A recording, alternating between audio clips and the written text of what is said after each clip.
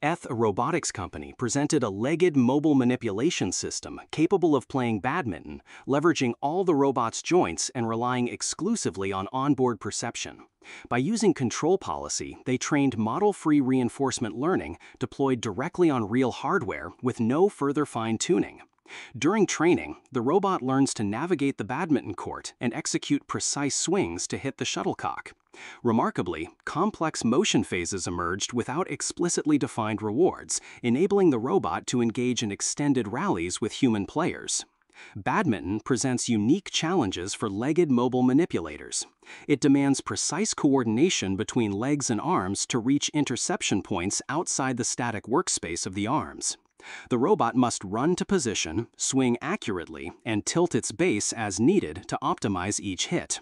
We train the robot to track timed end effector states in simulation, outputting joint position targets for the entire system. Each episode includes multiple swing targets, preparing the robot for consecutive hits. Our approach uses an asymmetric actor-critic architecture, where the critic is granted privileged simulation-only information, such as the number of targets remaining, to better estimate future returns and improve learning efficiency. Beyond coordination, the game demands tight integration of perception and control. The robot tracks the shuttlecock using only onboard sensors, applying color filtering and an aerodynamic flight model to predict its trajectory. Due to the limited field of view of onboard cameras, reliable perception is available only in a brief window during each flight, especially when the robot's base is stationary.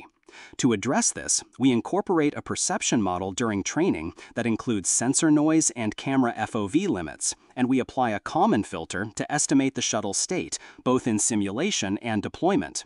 The policy is rewarded for minimizing perception error at the time of the swing, encouraging the robot to balance its base orientation and limb control while improving its perceptual accuracy. We validated the trained policy through extensive experiments, both in simulation and on hardware.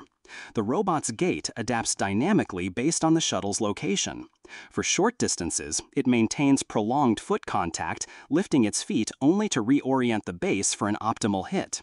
For longer distances, the robot adopts a galloping gait, adjusting foot contacts to support rapid motion under time constraints. The robot can even adjust its gait to ensure it intercepts the shuttle in time, sacrificing stability for faster movement, even if it means higher foot impact and longer recovery.